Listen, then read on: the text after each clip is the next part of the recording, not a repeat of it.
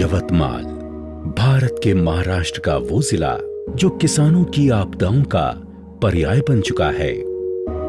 एक तरफ़ सिंचाई का अभाव तो दूसरी ओर सूखे की मार।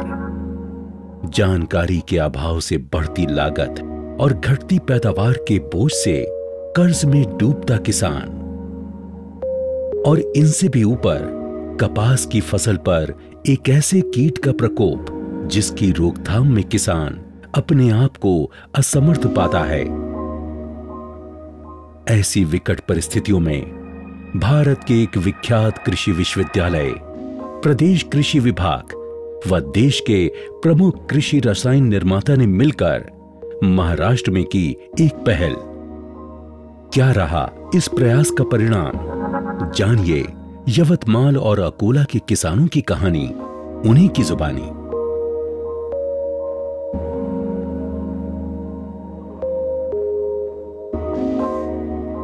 पिछले साल कपास लगाया था मैंने। कम से कम बीस एकड़ था वो। और बीस एकड़ में एवरेज मिनिमम दस का भी पकड़ा तो दो सौ क्विंटल कपास होने वाला था। लेकिन कपास हुआ सिर्फ़ तीस क्विंटल। गुलाबी बूंदे आई थी, लेकिन पहले ध्यान में नहीं आया वो। अटैक जो आया था, बूंद अच्छे दिख रहे थे। फिर बाद में देखा तो जब कपास फूटने का टाइम आया, तभी ख्याल में आया। तब तब तक टाइम निकल गया था। कुछ भी कर नहीं सकते थे अपन। मेरे को ऐसा धक्का था कि और इस ये साल में तो इतनी बोंड आई और अगले साल कितनी आएँगी इस वजह से मैं लगाने वाला नहीं था। पहले जो हमारा बोले तो नियोजन बरोबर नहीं था। लोग को, कौन से टाइम में कौन सा औषधि मारने का ये हमको मालूम नहीं था। पिछले साल का जो नुकसान हुआ इसके वजह से मैं इस साल कपास की खेती करने की नहीं ऐसा सोच रहा था मैं। पूरा सोयाबीन डालने का। When we approached uh, these villages initially, there was a very शुरुआत में गुलाबी सुंडी के प्रकोप से भयभीत किसान इस प्रोग्राम के बारे में हताश व निरुत्साहित दिखे। यहाँ तक कि वो भविष्य में कपास की खेती करने से भी कतरा रहे थे। लेकिन हमारे गाँव में वो पंजाब राव कृषि विद्यापीठ वाले और यूपीएल यूपीएल वाले वो वो दो, दोनों दोनों ये आए थे समझो। हमने अकोला डिस्ट्रिक्ट में कौलखेड़ गोंगाशी करके एक विलेज है और यवतमाल डिस्ट्रिक्ट में साईखेड़ा विलेज। ऐसे दो विलेजेस हमने सिलेक्ट किया और ये दो विलेज के अंदर जितने भी काश्तकार आते हैं, फार्मर्स आते हैं, उनका हमने सिलेक्शन किया है। ये जो विलेज है साईखेड़ा खुर्द, इस विलेज को हमने पहले सेलेक्ट किया था कि ऐसा एक गाँव सेलेक्ट किया जाए जिसमें पिंक बोल वॉम का नियंत्रण बड़ा डिफ़िकल्ट हो गया था लास्ट ईयर उन्होंने हम हमारे को प्रोत्साहन किया कि तुम लगाओ कपास बाकी हम देख लेंगे। जो गुलाबी बूंदी आने आने वाली है उसको हम प्रतिबंधक उपाय करेंगे उस पर कुछ ना कुछ।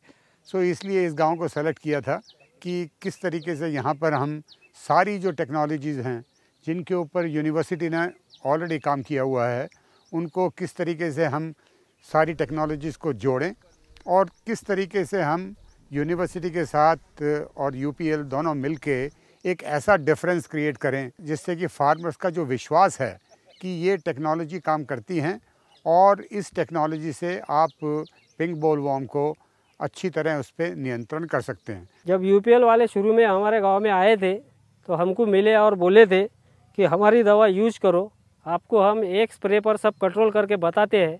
तो हमको लगा कि ये हमको लेके डूबेंगे। तो दस एकड़ कपास मैंने उनके भरोसे पे डाला समझो। तो हमने थोड़ा सोचा और बाद में उनको बताया कि ठीक है भाई हम तो चार स्प्रे मारते हैं तो भी हम बच रहे नहीं तो तुम एक स्प्रे में हमको कहाँ से बचाओगे? Pink bollworm is a गुलाबी सुंडी के नियंत्रण के लिए एकीकृत कीट प्रबंधन की आवश्यकता है। सबसे पहले हमने मैकेनिकल कंट्रोल को अपनाया। इसमें पिछले वर्ष की फ़सल के अवशेषों को जलाना ज़रूरी है। चालू करून दे रे बाबा।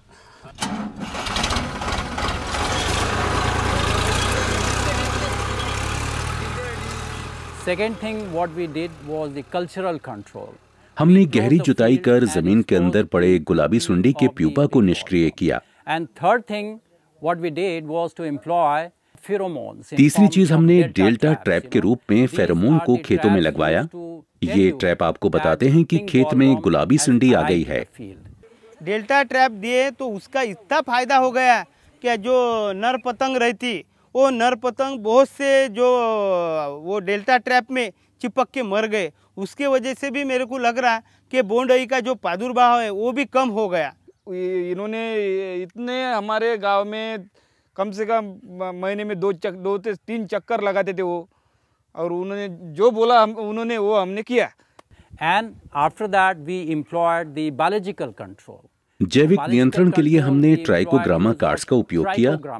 ये एक पैरास्टिटॉइड है जो गुलाबी सुंडी के अंडों में अंडे देकर सुंडी के अंडों को ही नष्ट कर देता है।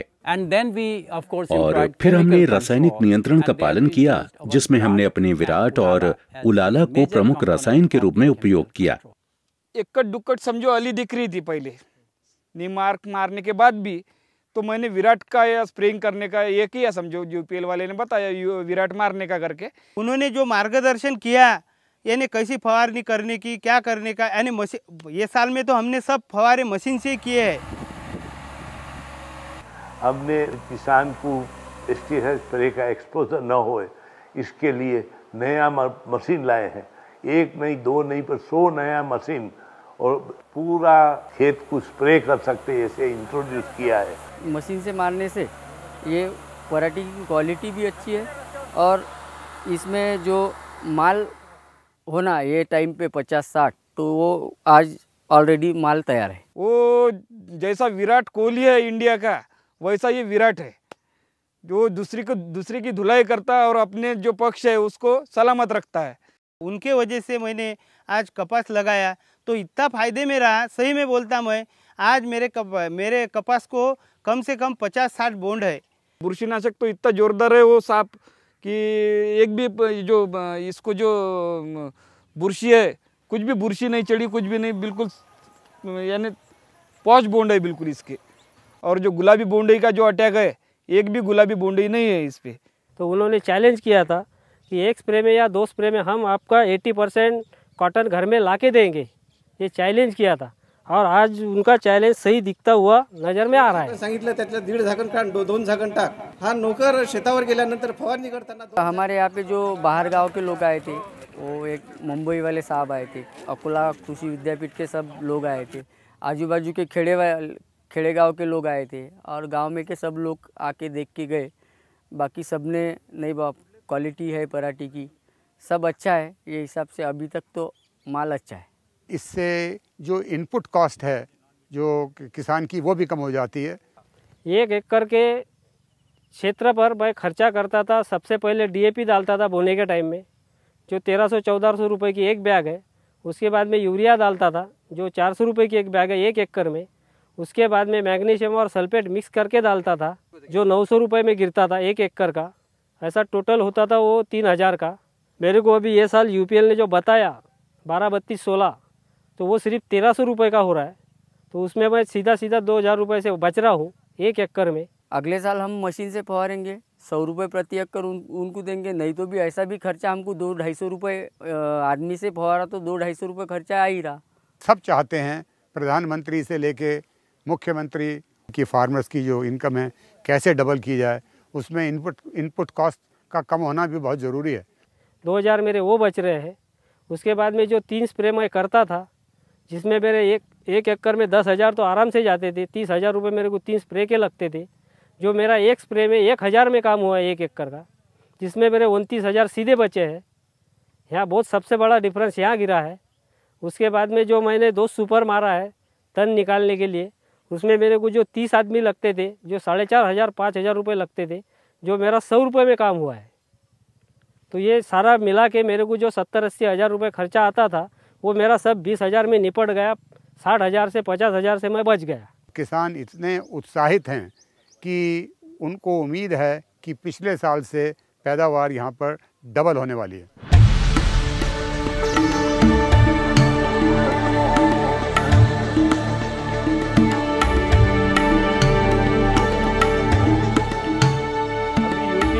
वालों ने इस साल हमारा गाँव जो है वो दत्तक लिया है। अभी हर बार तो दत्तक लेंगे नहीं हमारा गाँव। लेकिन इस बार उनके वजह से इतना फ़र्क गिरा। हमने ज़िंदगी में नहीं सोचा था ऐसा कपास आएगा करके। गए साल में जो बोंड रहता था उसके चार पाकाया रहती बोंड को तो उसमें से एक अच्छी निकलती थी तीन बेकार निकलती ये साल में एक भी ऐसी पाकली ऐसी नहीं हुई की चारों भी पाकल्या एक नंबर म्हणजे याने पूरे फूल गए। यानी कपास चुनने को भी यानी तक दिक्कत नहीं गई। पिछले साल मेरे को सात या सात आठ प्रति क्विंटल एवरेज आया था प्रति एकड़। इस साल पंद्रह और पंद्रह अठारह क्विंटल प्रति एकड़ एवरेज आ रहा। पिछले साल भोंडोली की वजह से इतना कम कपास हुआ था कि एक रूम ही नहीं भरी थी। इस साल में ऐसा है कि दो रूम भर के बाजू वाले में तीसरे रूम में डालना पड़ा जगह भी नहीं है डालने के लिए। दुप्पट तिप्पट का उत्पन्न हो गया। है क्वालिटी में तो बहुत फ़र्क है। इस साल जो बोंड है वो यानी उसका वज़न ज़्यादा है। जो सफ़ेदपना है कपास को बिल्कुल बर्फ़ के जैसा दिख रहा हो कपास भी। इतना आएगा ऐसा तो हमने सोचा नहीं था। मुनाफा तो पिछले साल से डबल हो गया। आमदनी का बहुत यानी चौपट पाँचपट फ़र्क गिरेगा आमदनी का। अभी ये हिसाब से खेती ये अच्छी पीकी तो ये हिसाब से अगले साल लड़के को यवतमाल डालेंगे शिक्षा के लिए। तो भी ऐसा लग रहा जो जूना कर्ज है वो भी मुकला करने का और कुछ लेने का सोच रहा अभी। इस साल अभी फोर व्हीलर गाड़ी लेने का इच्छा है। देखेंगे अभी क्या होता। है हम गाँव में जाते हैं खेत में जाते हैं तो हम लोग बोल सकते हैं ज़रूर किसान बहुत समझदार है बहुत इंटेलिजेंट है और नया टेक्निक सीखने के लिए हमेशा तैयार होता है। टुडे जैसा आपने देखा पैदावार में काफ़ी बढ़ोतरी हुई है और अब किसान हर साल कपास उगाने की बात कर रहे हैं।